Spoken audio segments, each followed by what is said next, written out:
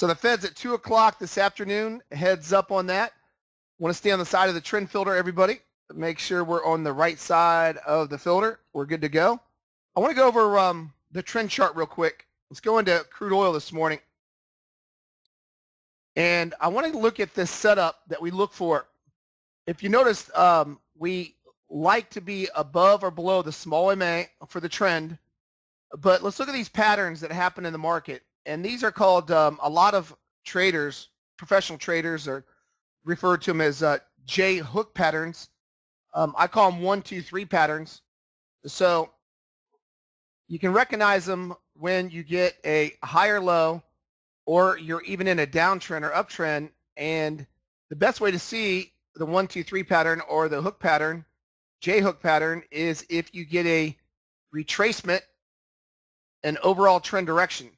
So it's called a, I call it a one, two, three. A lot of uh, traders call it uh, a J hook. And there's called an inverted J hook. And then there's called a um, regular J hook. And it happens typically, the big ones happens at the high or low of the market when you're at the high or low of the market on a one, two, three pattern. Oops. Let me get this real quick. So you can see that's a one, two, and that's a three. Let's see if I can make this bigger for you. The font. And this is how you catch the wrongly positioned traders. We go over this all the time. They're going to try to either mark the market up or mark the market down. Keep hitting the wrong button here. And I'm going to show you how you can catch them. Here we go. Uh-huh. So that's a one, there's a two, there's a three. So once you get on the right side of the trend filter, you're going to look for a three pattern short or a, a lot of traders call it a,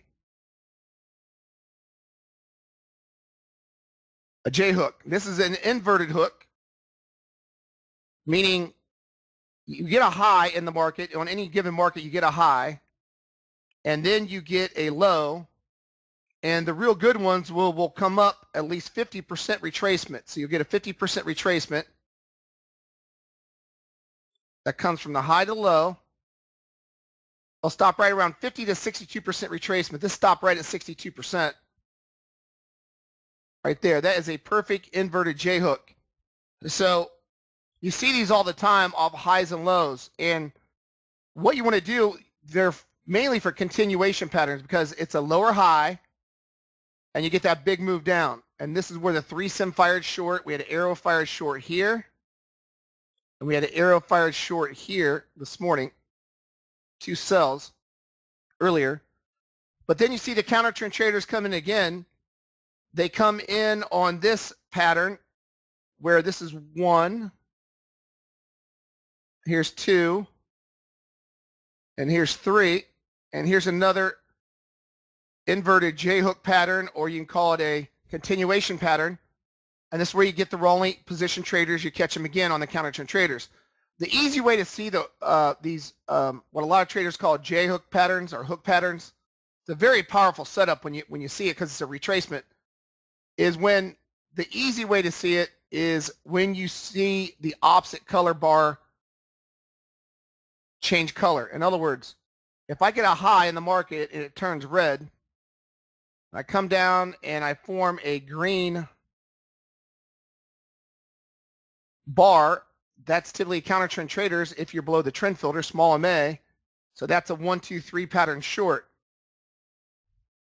So right when that green bar comes in, you're basically telling yourself that you're looking for a retracement. Same here. This is a more of a weaker pattern, which is even better. It's a continuation pattern where we had a short this morning. So there's your one, red bar, red bar, red bar, had arrows short here. Here's two. Once that green bar comes in, you get counter trend traders that push the market back up. And right at this high, we had a arrow short right here. Right at that three pattern short or an inverted J-hook pattern right there is your three, uh, one, two, three pattern short, or you can call it a J hook. You know, that's how you can find it on the trend chart. Now, if you're in an uptrend, let's say the Russell 2000, yesterday we had a real big one in, uh, near the close. It's the opposite on, in the, on the upside. So if you're on the upside or you're in an uptrend,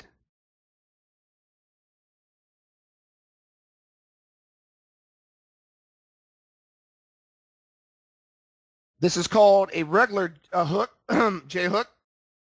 Looks like a J. So the inverted is when you're in a downtrend, and the regular J hook is when you're in an uptrend. Or that's a one, two, three pattern short. Here's two. Here's three at the bottom. Right when you get the red bars that come in, it's against the trend filter. See the trend filter is up. So once the trend filter is up, you want to, once that closes a red bar, you know you're in a what?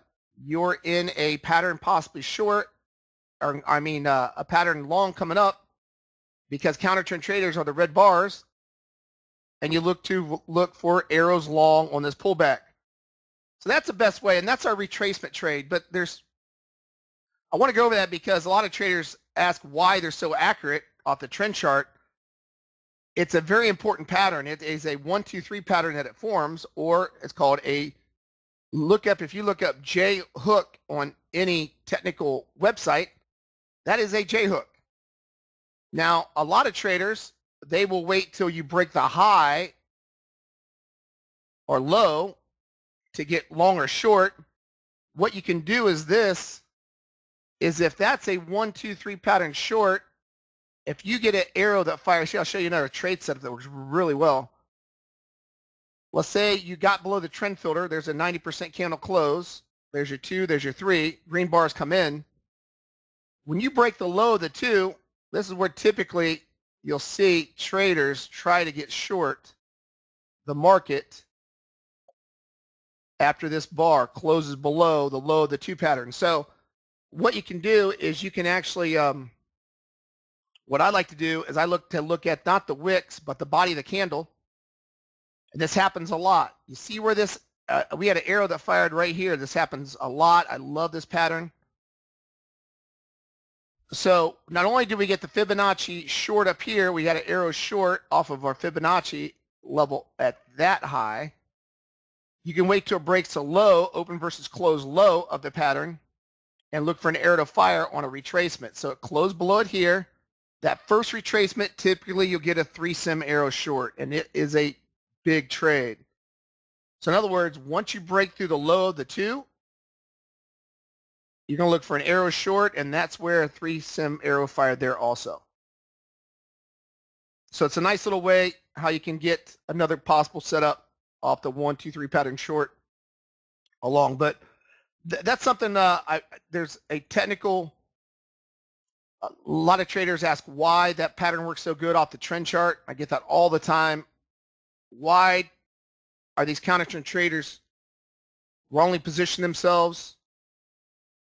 It's because they're getting caught at a lower high or higher low on buys or sells, and that's why it works so well. It, all it is is a one, two, three pattern that works off my trend chart. So we're looking for that pattern for continuations. J-hook patterns are basically continuation trades. All right, they're basically continuation trades. So this high and low was 50% retracement here. That is a, another one, two, three pattern short. You like to see at least a 50% retracement on the good ones. But typically they'll stop right at 62%. So we had two of them this morning so far. There's one, there's two, there's three. So when I'm looking at the trend chart, that's what I'm looking for. I'm looking for a J hook or inverted J hook. Basically, it's a one, two, three pattern. I call it in the room. I've called that ever since we've opened the room. You can also call it an ABC short or ABC long. This is A, two is B, three is C.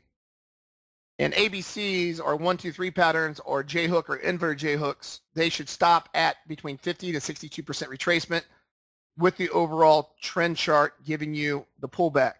Now, just remember the easy way to spot the trades coming up, just wait for the opposite color bar on my trend chart. I got a filter built into the trend chart already.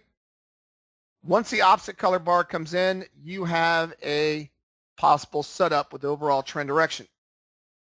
That is a continuation pattern or what we call a Fibonacci retracement. We're looking for Fibonacci retracements right when these bars close, when that bar closed green, look for the retracement. It should come up to 50% retracement to 62 and look for the arrows to get you short or if it's in an uptrend, get you long. Okay?